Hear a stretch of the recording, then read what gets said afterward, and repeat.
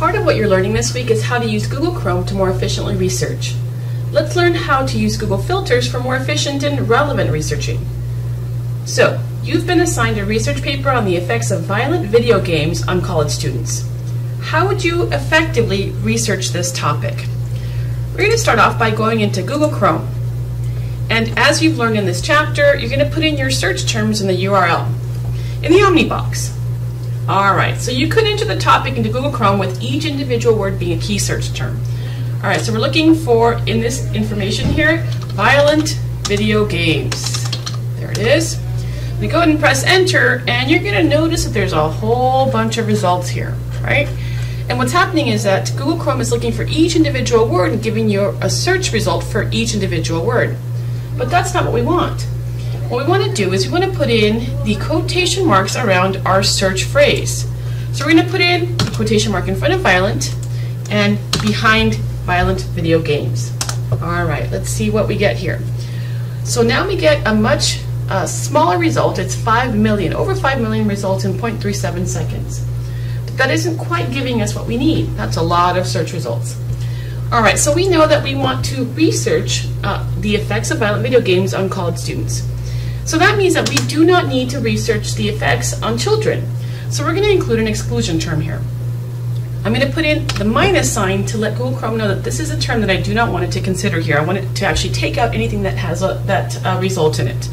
So I'm going to type in children and press enter. All right, so I'm looking at my terms here and I'm looking at my results and I went from 5 million to just over 2 million in 0.25 seconds. All right, that's better, but still dramatically way too high for me to uh, actually get the results that I want. So what am I going to do from here? Well, we also know that when it comes to researching, we want to have the latest materials uh, to look at. So we're going to go into the settings portion of Google Chrome here, and we're going to go into advanced research.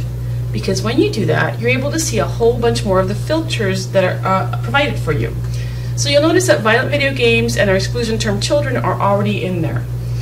All right, so we just talked about a time limit, right? So sometimes it's three years, sometimes it's five years. In this case, we're going to use the articles, the information that's provided to us that are from the past year. So I'm going to go here on the left-hand side. I'm going to narrow my results by last update.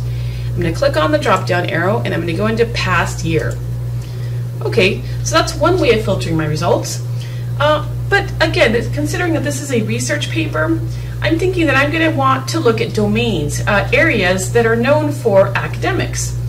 So the next thing I want to look at is go into my site or domain. Now, if you look on the right-hand side here, it tells you you can search one site like wikipedia.org or limit your results to a domain.